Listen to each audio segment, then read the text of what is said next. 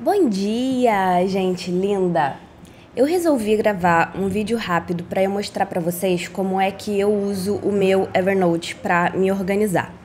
Esse vídeo aqui não é sobre como vocês podem usar o Evernote, porque o Evernote comporta muitas possibilidades. Eu quero só mostrar como eu estou usando. Então, deixa eu dar uma explicada geral, básica e bem indireta. Eu uso três cadernos diferentes. Um caderno que eu coloquei com esse emojizinho de caixa de entrada, que é para onde eu jogo todas as coisas assim que eu capturo elas. Um outro caderno para os meus projetos. Eu não vou mostrar esse caderno para vocês porque eles têm esse caderno tem algumas notas muito pessoais, né, dos meus projetos, mas dá para ver que aqui tem cinco notas, ou seja, são cinco projetos que eu tenho que precisam de algum tipo de planejamento, eu preciso escrever alguma coisa sobre eles, preciso guardar alguma informação e aí é um caderno em que eu sei que se tem alguma coisa na qual eu estou trabalhando que está precisando de referência em termos de grandes projetos, eu coloco nele. E eu tenho o que o Evernote chama de pilha de cadernos, que é um caderno chamado Referências, que contém três cadernos. Quais são os cadernos nessa pilha de cadernos? Eu dividi o meu caderno de referência em três coisas: artigos e vídeos, cursos e referências gerais. Aqui na barra de ferramentas, só para vocês verem um pouco melhor, tem atalhos, todas as notas, todos os meus cadernos e todas as minhas etiquetas. Eu mostro isso para vocês já já. Eu uso é, MacBook, né? Eu sou usuária da Apple, então esse aqui é a carinha do Evernote para Apple.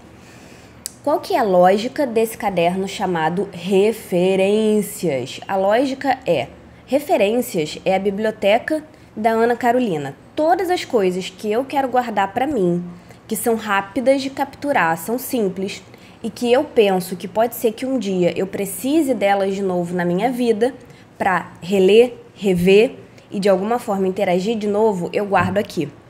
Essa é a lógica parcial do GTD, né? Tipo, essa organização aqui dos cadernos não é GTD hardcore, mas o GTD fala, o David Allen diz que a gente deveria arquivar coisas que a gente encontra na internet, a gente deveria guardar para gente algumas informações quando guardar aquela informação é mais rápido do que encontrar ela novamente. Então, por exemplo, quando eu estou aqui nos meus cadernos e eu clico em artigos e vídeos, eu automaticamente vejo por ordem de alfabeto todos os vídeos que eu já salvei. E o David Allen diz que a gente não deveria guardar como referência coisas que sejam muito fáceis de você encontrar no Google, por exemplo. Isso é para dizer o quê? Que a sua organização não deveria ser tão demorada, ela não deveria ser tão trabalhosa a ponto de você passar mais tempo salvando coisas e organizando pastas do que você gastaria se você um dia realmente precisar daquilo e você apenas procura ou pergunta para quem sabe. Essa é uma regra importante de vocês lembrarem. Qual é a lógica do Evernote? Voltando aqui para o Evernote. Você divide as suas informações em pastas. E eu quero que vocês pensem que esses cadernos aqui são como se fossem aqueles grandes arquivos de escritório de antigamente com gavetas bem grandes. Sabe como é?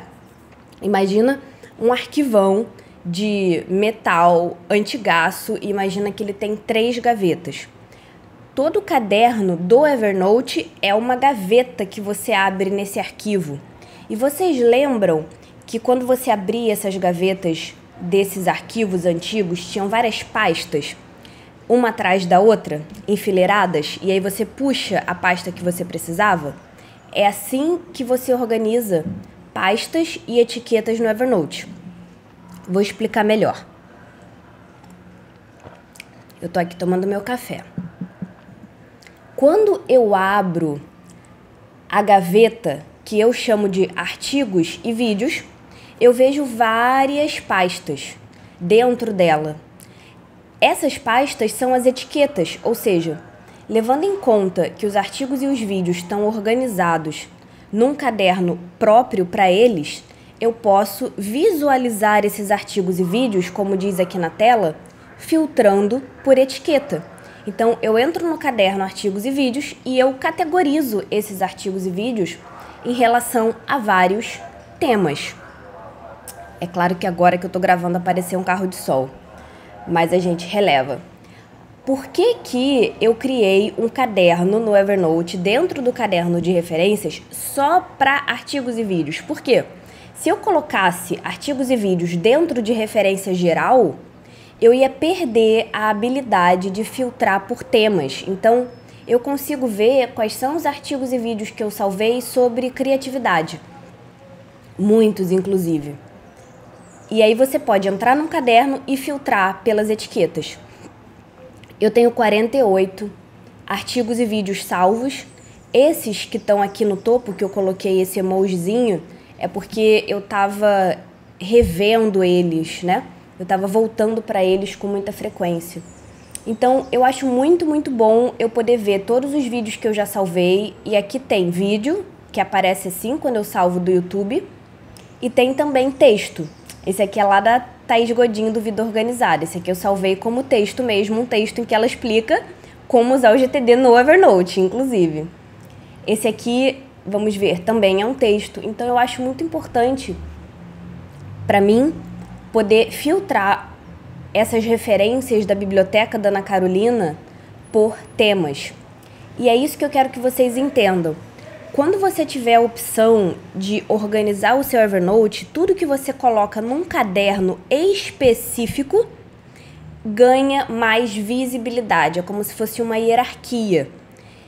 Então, imagina que você jogou no chão, digamos assim, você colocou no chão, espalhou no chão todas as suas notas do Evernote. Já que eu criei um caderno chamado cursos e um caderno chamado artigos e vídeos, é porque se essas notas tivessem dentro de um caderno só, eu não sei se mostra, né? Mas assim, 161 notas, mais 33, mais 48, eu ia ter menos visibilidade dos artigos e vídeos porque eles iam estar no mesmo nível de todas as notas. Quando eu pego um caderno só para artigos e vídeos, é como se você tivesse no seu quarto, ao invés de você pegar as notas dos artigos e vídeos e jogar no chão, você coloca na sua cama.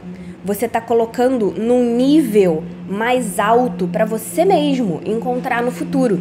E isso cria a possibilidade de, dentro da pasta de referência geral eu tenho algumas etiquetas e dentro da pasta de artigos e vídeos eu tenho outras etiquetas.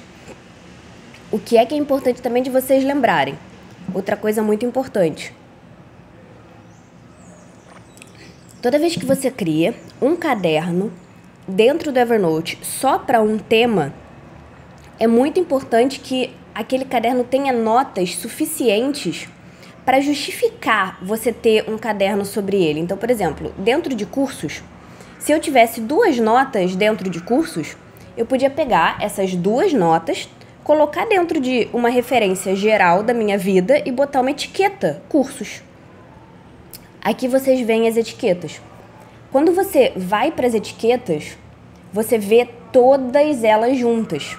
E outra coisa importante de vocês lembrarem é que quando você cria um caderno para um tema dentro do Evernote, você está agilizando o seu próprio processo de encontrar aquele tema. Você está agilizando a interação.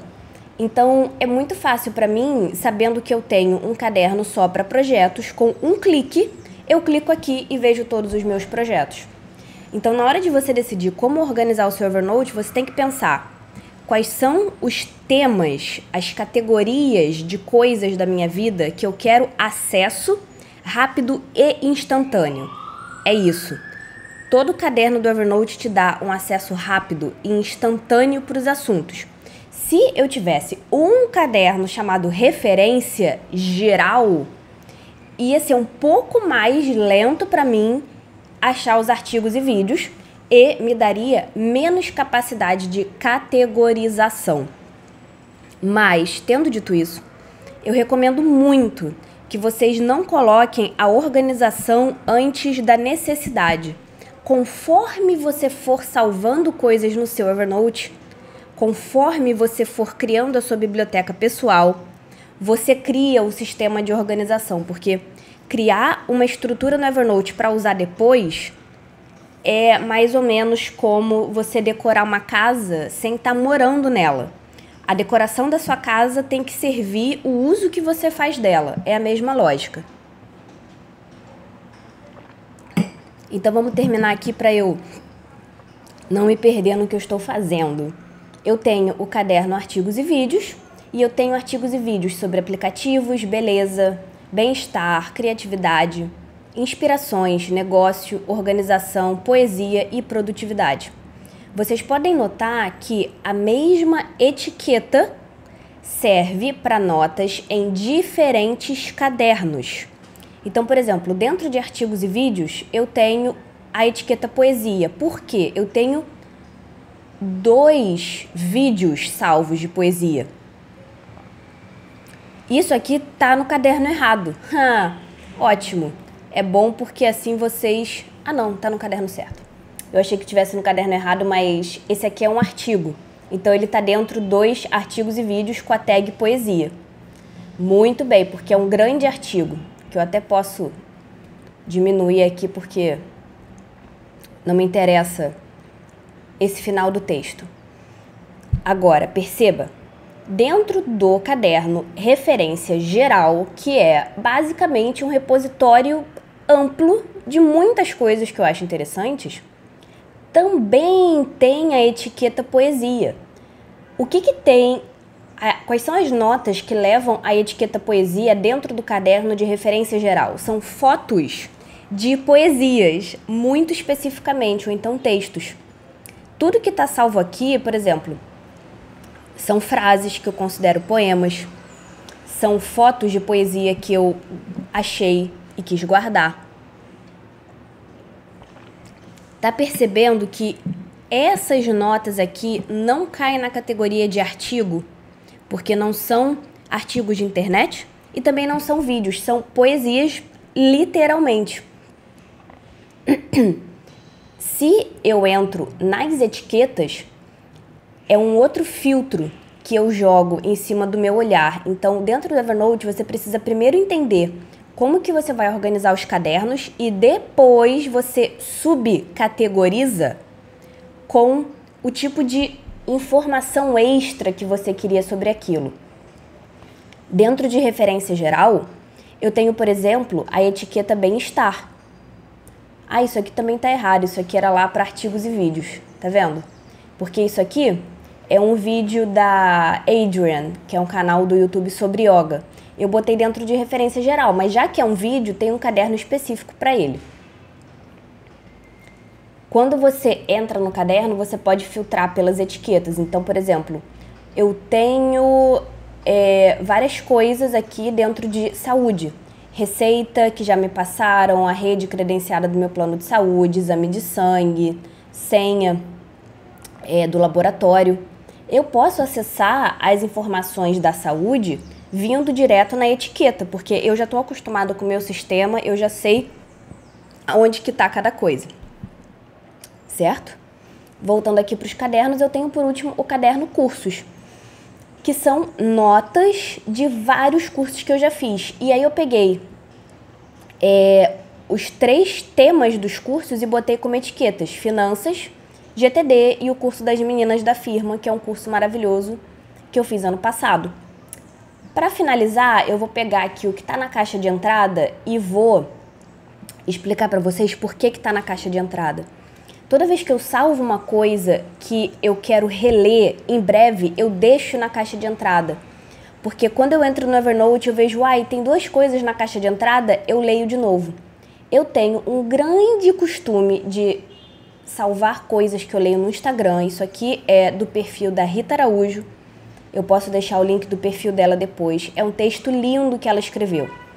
Eu salvo esse print no celular, passo para o computador, coloco como título da nota é, uma frase do texto que eu achei muito impactante e coloco na etiqueta inspirações. Aí a única coisa que eu preciso fazer é mudar de caderno. E como esse print é uma foto geral, entra direto na referência geral. Mesma coisa, uma foto que eu salvei do Instagram, que eu achei linda, que leva a tag inspirações dentro de referência geral. Para finalizar, eu vou mostrar vocês a tag inspirações, que é a tag que mais tem etiqueta. Tem 54 etiquetas dentro de inspirações. Então, assim, o caderno é referência geral. E dentro desse caderno, na etiqueta inspirações, tem tudo que eu acho inspirador. Tem muita coisa, tem texto. E esse texto aqui, por exemplo, veio para mim por e-mail. Ele não é um artigo da internet. Tem um tweet, que às vezes eu vejo um tweet que nem esse aqui é uma sequência de tweets lá no Twitter que eu achei linda e eu quis salvar. E quase sempre são textos que eu copio e colo ou são fotos. Então, por exemplo, uma foto de um texto de uma escritora que eu gosto, tá salvo aqui. Foto de livro, por exemplo. E tem muita foto aqui dentro de aqui dentro de inspirações. Tem foto que eu peguei do perfil da Nath Duarte lá no Facebook. Eu adoro essa minha etiqueta. Então, pessoal, esse é um resumo de como eu uso Evernote. Espero que tenha sido útil. Por favor, deixem dúvidas aqui embaixo e a gente volta, eu volto semana que vem. Tchau, tchau.